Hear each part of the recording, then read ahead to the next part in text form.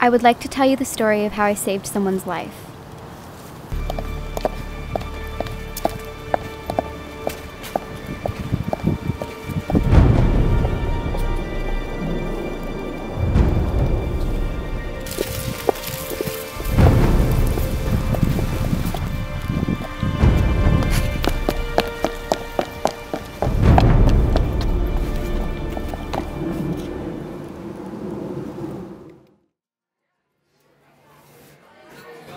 So, is there anything you want to talk about?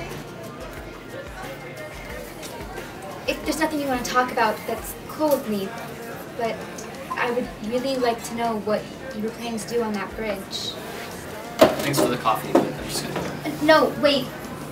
Please stay. For my sake. We don't have to talk, we can just sit.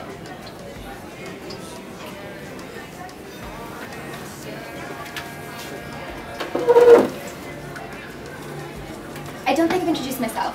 I'm. Olivia Corelli. We've gone to school together since fifth grade. Oh.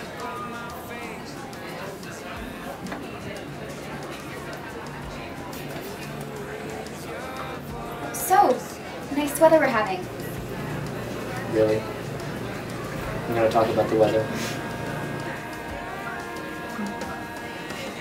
You have a cute smile. Thanks. That's sweet.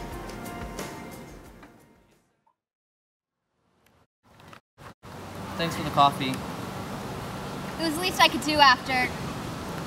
Well, you're welcome. After I tried to kill myself? I'm sorry. It's okay. I'm just glad you're alright. Why? Why, what? Why do you care? I mean, before today, you didn't even know I existed. You know, no one did. Well, I notice you now. Took you long enough. Sorry. No, it's just. it's- I'm not really a, a standout guy, you know? Like, mean, not like you. I, I mean, not like you as in you're a, you're a guy. I mean, you're a girl. You know what I mean, right? I mean, I'm not saying you are a guy. I've rambled too much. I'm sorry.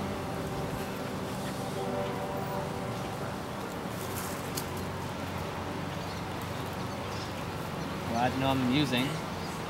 You are. Come on, let's get out of here.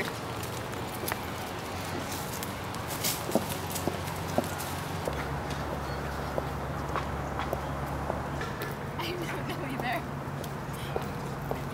You know, What are we doing here? This is a park. so, too old for swings. Never. Hey!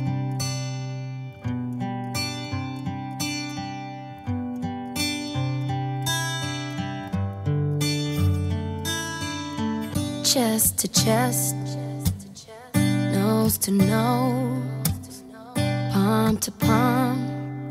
We were always just that close, wrist to wrist, toe to toe. Lips that felt just like the inside of a rose. So how come when I reach out my finger? It feels like more than distance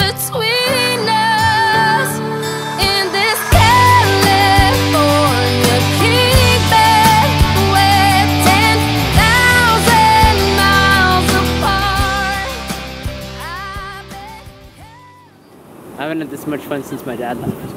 When was that? A couple years ago. I'm sorry.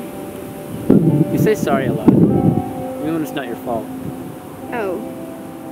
Sorry. What happened? My mom cheated on him. He tried to stay and make it work, but he could only remember the betrayal. You know, it got to a point where he couldn't even look at me anymore. So we left. My mom was happy about it. She said, good riddance to that no good cheap bastard. She couldn't wait to start a new life with Doug. Never told anyone that before. Thank you For what? for telling me. Thank you for listening. When I was six, I lost my hamster, and my sister told me that he'd run away to the circus, right? So I decided to join him. So I packed my bags and left, leaving my parents a very poorly spelled note. I got about to the next block before I got scared and ran home. Stop laughing! I was seriously gonna go, but I got scared and missed my mom. It's not funny. Yes, it is. I just wanted to share something too. In uh, in the fifth grade, my first day of school, one of the guys threw a baseball into a tree and knocked a nest out of it. All the birds made it except for one of them. And I distinctly remember this one little girl running up, trying to give the birds CPR, and insisted that we give a proper burial for it. I can't believe you remember that. You're a memorable little kid.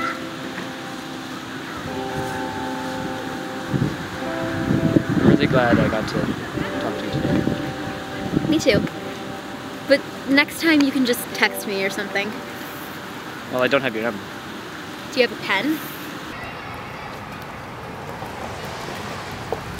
I can't believe that I have Olivia Corelli's phone number. Keep that. It'll be worth something someday. I hope you know I'm never washing this arm again. That's disgusting. I thought it was romantic. Then you have a very twisted idea of romance. Well, you smile. Something right. God only knows what.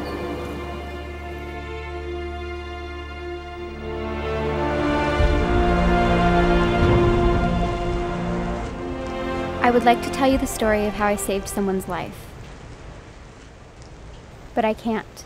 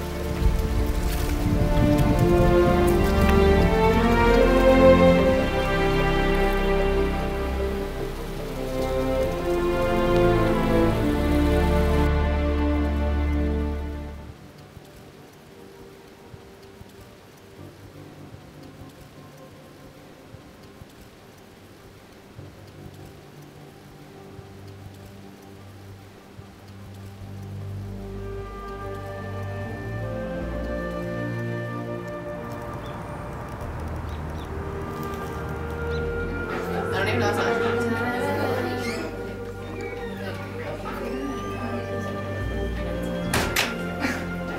think whoever told that kid to be himself gave him horrible advice?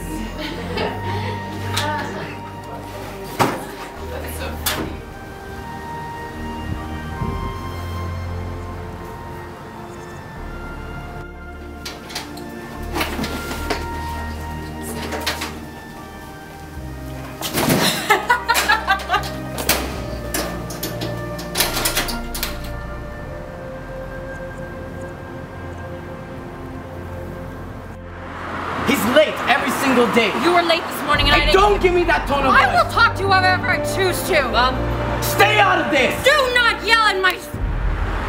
Get in.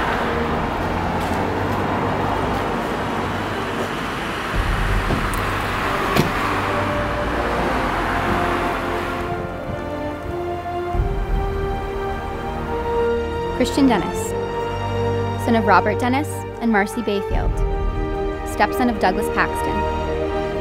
Dirty blonde hair, green eyes, born April 17th, 1993, in Mount Sinai Hospital at 2:27 a.m. On October 23rd, 2011, Christian Dennis, son of Robert Dennis and Marcy Bayfield, stepson of Douglas Paxton, climbed over the edge of the Arlington Bridge and jumped. He died instantaneously. Sometimes, when I lie awake in bed, I imagine what he looks like when they found him. Do you think whoever told that kid to be himself gave him horrible advice? I like to believe that his eyes were closed, and he wore a smile, even if it was out of bitterness. I imagine him the epitome of peace, cradled in the paramedic's arms, as if he were sleeping.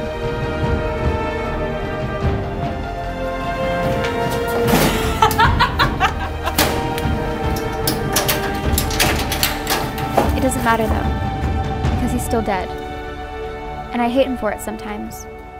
But mostly I hate myself for it. I hate myself for not stopping him. Not just on the bridge, but countless times before. Stay out of this! Do not yell.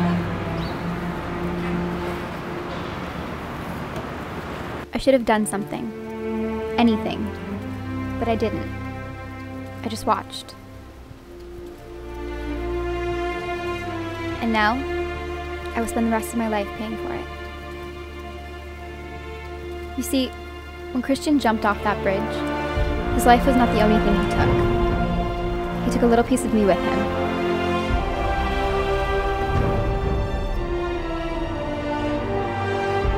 He took a little bit of all of us.